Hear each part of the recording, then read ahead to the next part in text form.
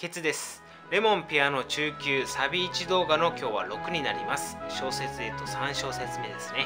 ここの左手と両手で合わせる練習していきます。サビ1の1小節目から今日やる3小節目まで一度弾いてみます。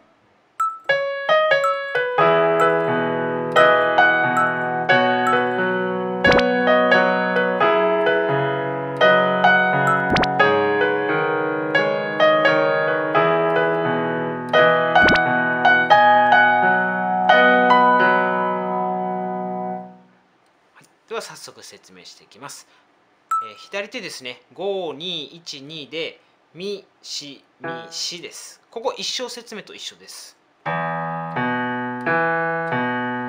い。同じく5212でシファのシャープシファのシャープ。ここも一緒ですね。はい。一回通して弾きます。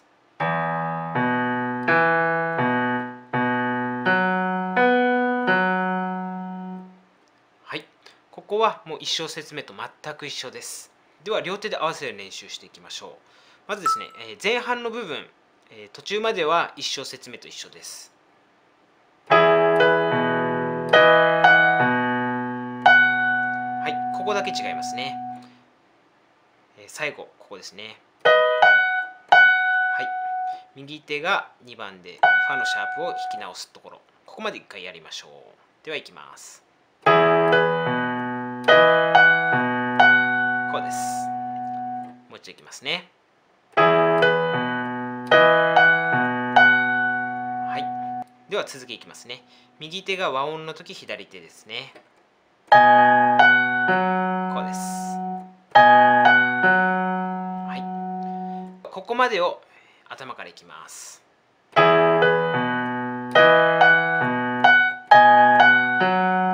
い。もう一度いきましょう。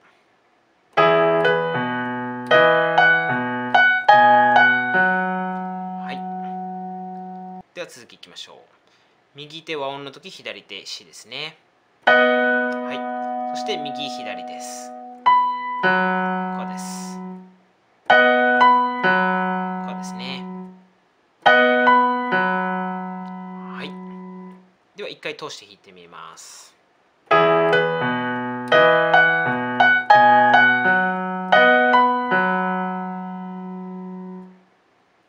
はい、ではここでのポイントなんですが右手がは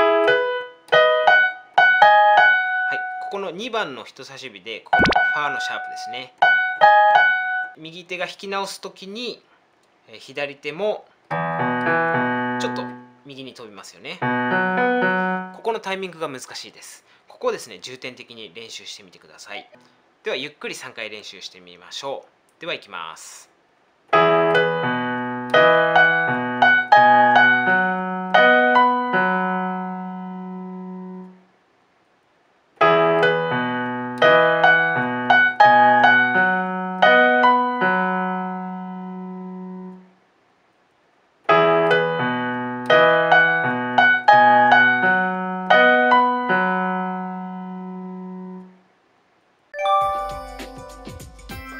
今日やったパート弾けたという方分かりやすかったという方はグッドボタンで教えてください。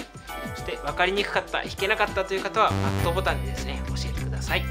ここまで弾けるようになったという方は次の動画に進んでください。